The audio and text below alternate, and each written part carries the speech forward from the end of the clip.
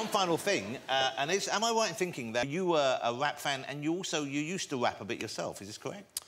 That is correct. Just say no now. Yeah, No, I did. I used to. Uh, He's proud of this. Oh, of course, okay. I'm proud of it. I was a hip hop artist. Really? Yeah. I, What was your What was your hip hop name? Did you have a name? I, uh, Ranger. Uh, it was actually that's not actually my full name. My full name was Ranger, the lazy-eyed assassin. That that was my.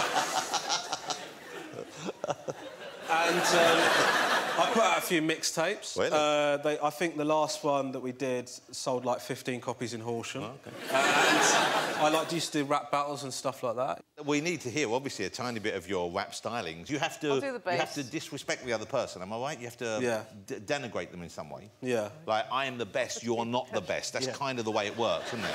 But a bit more than that.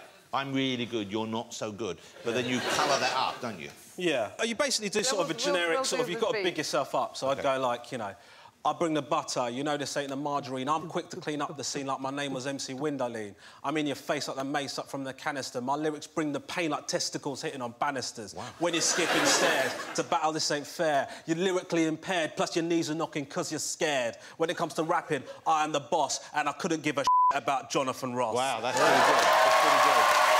Well, I'm glad we're on the same team. Darling, is there anyone here? Darling, nobody, sweetie.